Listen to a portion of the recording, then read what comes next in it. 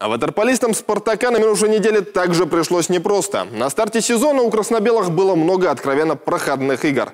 Но теперь время легких прогулок позади. Первым по-настоящему серьезным соперником волгоградцев стала «Астана».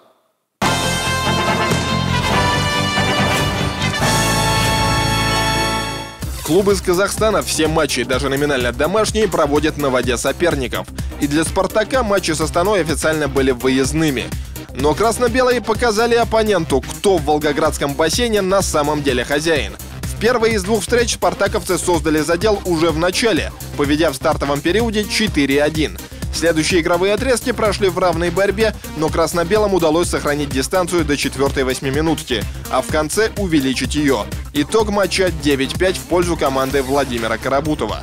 В чемпионате так все команды подравнялись, в принципе, усилились. Э, в принципе, это хорошо, поинтереснее играть. Да, спасибо команде э, Казахстана. Э, дали бой. Но хорошо, что мы выиграли, мы рады, довольны. Сейчас пойдут такие ответственные игры, тяжелые. Мы будем стараться, будем брать очки. На следующий день Астана и Спартак сошлись вновь. И начало получилось достаточно неожиданным. Астанинцы уже на старте повели 2-0, заставив волгоградцев отыгрываться. Но спартаковцы не растерялись и подключили дальнобойные орудия. Два пушечных броска Павла Халтурина, точный выстрел Артема Ашаева и вот уже красно-белые впереди. Лидерами волжане ушли и на первый перерыв. Табло показывало 6-4.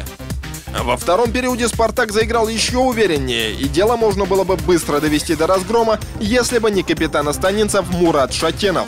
Седьмой номер казахстанского клуба забивал даже из самых сложных позиций – и позволял своей команде держаться на плаву. Сейчас начали более-менее дисциплинированно играть. В защите отрабатывать свои моменты. Зону плотно. Ну, игра чуть поменялась у нас. Вчера, сегодня играли ну, стабильно. Чуть-чуть вратари у нас подводят, конечно. Но еще молодые опыта наберутся. К концу сезона форму наберем, думаю. А вратарей главный тренер Астаны менял дважды, но это не помогало. Номинальные хозяева пропускали довольно много необязательных мячей.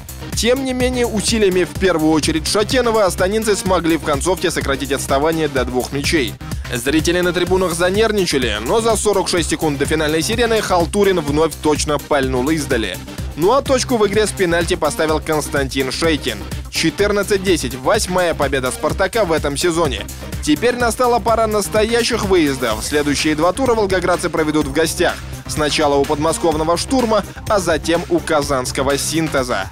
Синдес обновился в этом сезоне полностью практически. Как раз проверка боем будет.